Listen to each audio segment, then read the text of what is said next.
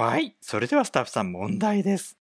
チャイの用事は何でしょう？うん、いらないと思うけどヒントはこちら。うん、このスタッフさんの足取りはもう分かってる時の足取り。右の壁に当てた後に左に行く。このルーティンをするということは？スタッフさん、違う違う、違うよねもう。うん、スタッフさん、そろそろいいかな？